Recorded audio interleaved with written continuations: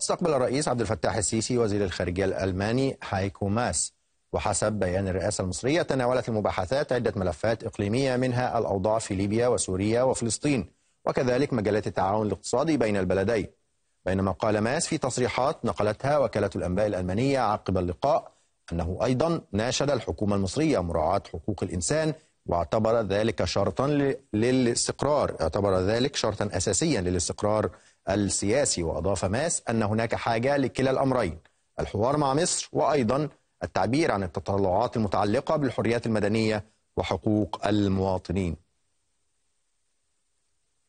عبر الأقمار الصناعية انضم إلينا تميم هيكل الباحث الحقوقي. أستاذ تميم مرحب بيك معايا في بتوقيت مصر. يعني خلينا أقف معاك عند المفارقة. بيان الخارجية الألمانية يتحدث بوضوح ويعني بجانب كبير من البيان عن الحديث الذي دار بين السيسي ووزير الخارجية حول حالة حقوق الإنسان وحديث ألمانيا عن ضرورة احترام حقوق الإنسان كشرط أساسي للاستقرار. في حين بيان الرئاسة المصرية تحدث عن الملفات ذات التعاون المشترك وكل القضايا تقريبا فيما عدا هذه القضية. لم يتناول بأي شكل الجانب من الحديث حول حول حالة حقوق الإنسان. يعني دا دائما هذه عادة سواء الرئاسة المصرية أو الحكومة المصرية في تصريحاتها بعد زيارات التي يقوم بها وزراء أو رؤساء حكومات غربية. يتم الحديث من حين لآخر عن حقوق الإنسان ولكن لا تذكر هذه المسألة في في حديث الصحافة المصرية أو الحديث الحكومي المصري. فهذا أمر أمر طبيعي. لكن أيضا هذه الزيارة لم تكن من أجل حقوق الإنسان وفقط. يعني الزيارة أصلا هي خاصة بالمسألة الليبية. وهي تعتبر آخر زيارة يقوم بها وزير الخارجية الألماني بعد الزيارة المكوكيه اللي قام بها تركيا وليبيا وتونس أيضا لنفس المسألة. ذكر حقوق الإنسان التي بالتأكيد موضوع حقوق الإنسان ذكر على لسان الصحافة الألمانية أو وزاره الخارجية الألمانية. هذا الحديث تم وأكد عليه وزير الخارجية الألماني. في رأيي الشخصي يعني لن يقدم شيئا لأنه يعتبر خطاب أقل من المطلوب خاصة من الدولة الألمانية التي تعتبر من الدول القليلة التي تتحدث مع مصر في هذا الشأن. طيب يعني أنا عايز أتوقف معاك برضو عند النقطة المتعلقة بالمصارين يعني الوزير الألماني يتحدث عن ضرورة أن تكون المحادثات مع مصر في مسارين متوازيين ضرورة التعاون مع مصر كبلد كبير ثم بالتوازي مع ذلك حثها و يعني محاولة يعني إن هي تحترم حقوق الإنسان وتراعي حالة حقوق الإنسان في مصر، هل ده بيحصل فعلا من الدول الأوروبية سواء من ألمانيا يعني بشكل خاص أو من الدول الأوروبية عموما، هل فعلا المسارين ماشيين بنفس التوازي؟ ليس بنفس التوازي. مسار حقوق الإنسان هو يعتبر ورقة للضغط أحيانا أو للتسهيل أحيانا. يعني في كثير من الأحيان لا يتم التحدث عنها. مسألة وجود مصر في المنطقة وأهميتها. ألمانيا تعتبر مصر دولة مهمة لاستقرار المنطقة سواء في الأزمة الليبية أو سواء حتى مع الخلاف الإسرائيلي الفلسطيني. فهذا هو الأساس السياسة الألمانية في الوقت الحالي. ورقة حقوق الإنسان مهمة يتم استخدامها من حين لآخر لكن لا يجب أن ننسى أن هناك أوراق أخرى. ألمانيا بتعتبر مصر عميل مهم في صادرات السلاح مصر تعتبر الدولة الثانية في استيراد الأسلحة الألمانية. الشهر الماضي حتى الشهر الماضي لهذه السنة تمت الموافقة على حوالي 802 مليون يورو صادرات سلاح لمصر.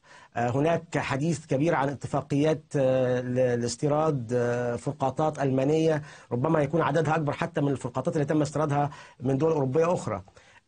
فاستخدام هذه الورقة مع مصر مع أوراق أخرى. قد يتم استخدامها بشكل يعني سوفت خفيف أو قد يتم استخدامها بشكل قوي حسب اعتبارات الدبلوماسية الألمانية. ولكنها ليست مسارا موازيا للسياسة الألمانية مع مصر.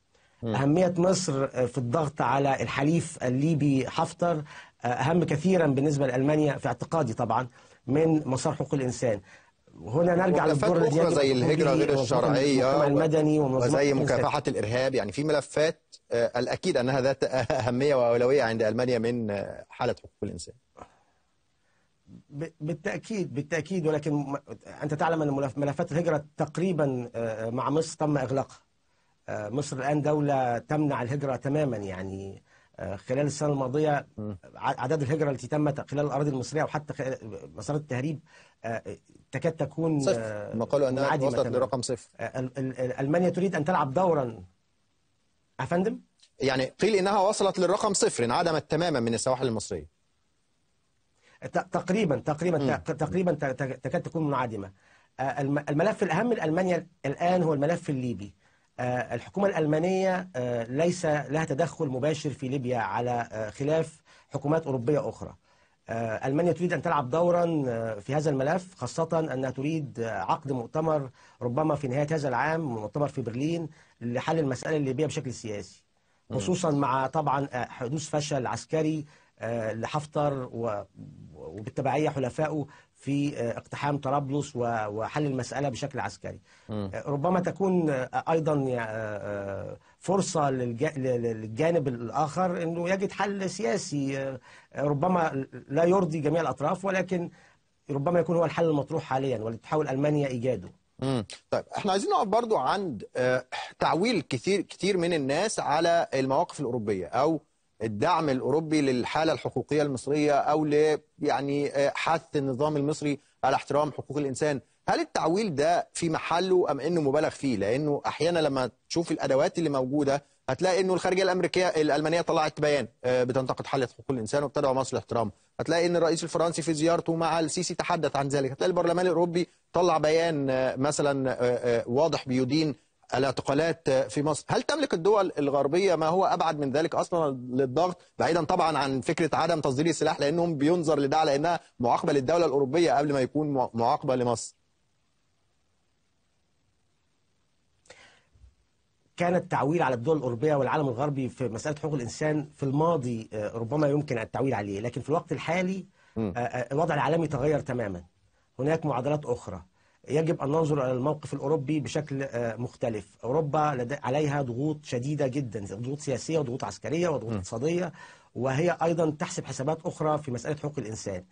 ال- ال- العاملين في منظمات حقوق الإنسان عليهم أن ينظروا لهذا الوضع بشكل مختلف هذه المرة. يجب التحدث بلغة مختلفة هذه المرة. يجب أن نتحدث عن المصالح الأوروبية. الأوروبيين يريدون يسمعوا عن مصالحهم.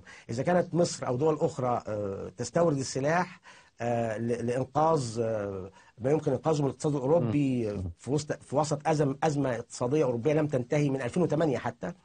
آه، آه، فيجب أن ننظر ينظر أيضا آه، نشطاء حقوق الإنسان لهذا الجانب. الآن يجب أن ندخل المعادلة بشكل مختلف.